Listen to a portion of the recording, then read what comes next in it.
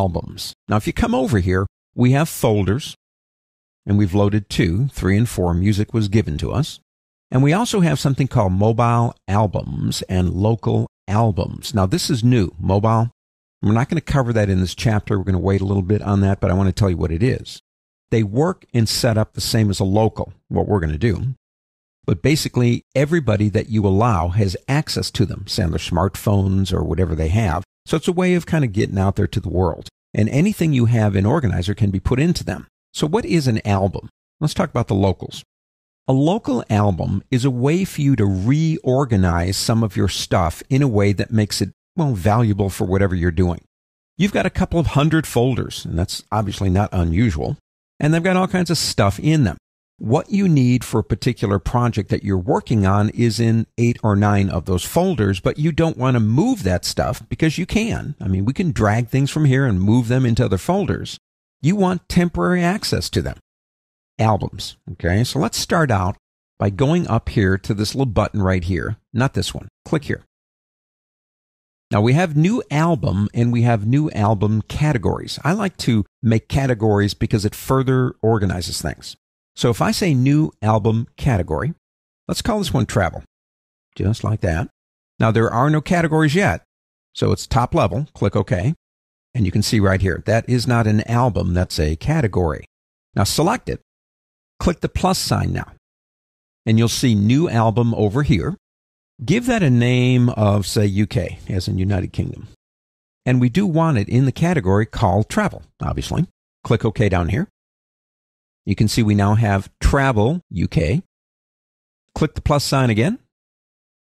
And we'll call this one Africa. Again, I do want it in travel. Incidentally, you can begin dragging things over here right now if you want to. That's one way to do it. Go ahead and click OK. Let's do one more. And we'll call this one US, as in United States.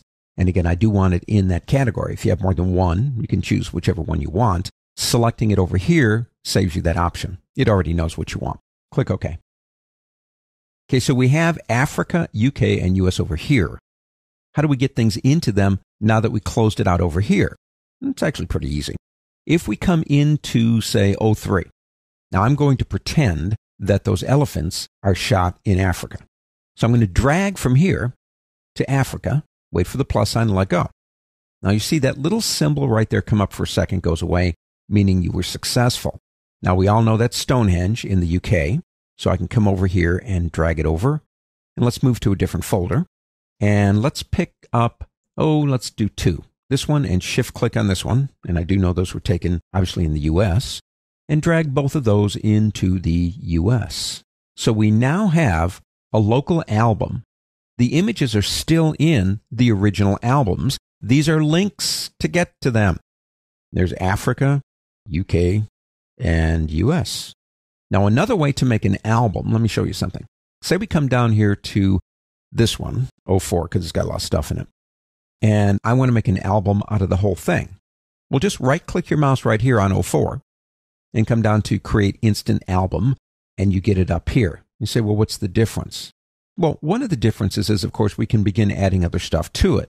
But in the next lesson, we're going to do a slideshow. And so you might want these in a different order and you can see they are named. Now, let's say we're done with our temporary album. We don't really need these anymore. So if I right click my mouse on 04 and say delete, it's going to say, Are you sure you want to do that? But the original media will not be deleted. And we say, sure, don't want that. Same thing here. Now you could do individual ones if you want it. But we do this, it gets them all. And again, it's not going to do anything except get rid of the album. Albums give you more organization. And as you work more and more with Elements Organizer, you're going to have more stuff. And it gives you a very nice temporary way to work with individual things across multiple folders. That's what they're there for.